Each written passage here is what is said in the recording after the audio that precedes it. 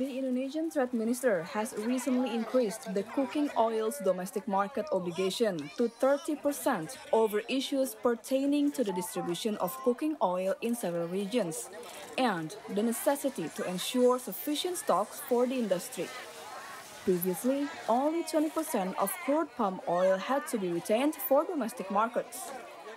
Minister Muhammad Lutfi explained that from February 14th until March the 8th, 2022, the export of crude palm oil and its derivatives have surpassed 2,771,294 tons.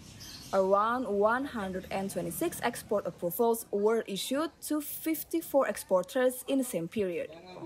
Dengan demikian, DMO yang kita kumpulkan lebih dari 20% atau 20,7% yang berjumlah 573.890 ton. Dari total uh, 573.890 ton itu sudah terdistribusi dalam 23 hari terakhir ini sebesar 415 uh, 415 ribu ton 500 4, maaf saya ulangi 415.787